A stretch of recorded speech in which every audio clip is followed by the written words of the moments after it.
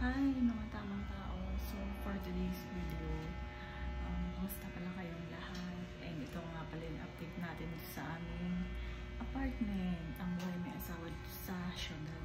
So for today's video guys, so ang ulam namin ngayon ay nagkakalaga ng 26 pesos.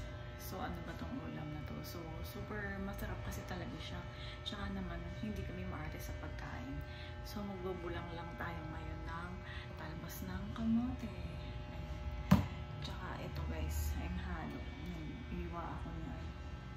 Ayan, ayan. Nag-iwa ako. So, and then, ipapakulo tayo ngayon ng tubig.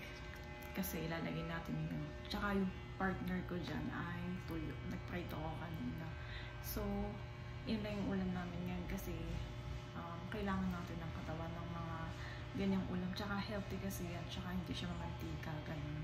So, favorite nga pala namin ulam yung bulang lang bukod sa sinigang. So, mahilig kami talaga guys sa may sabaw.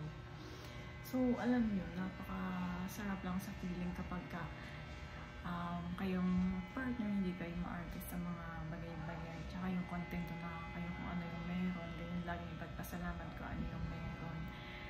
Lalo hanggang, um, syempre, mahirap ngayon yung buhay. So, ayun.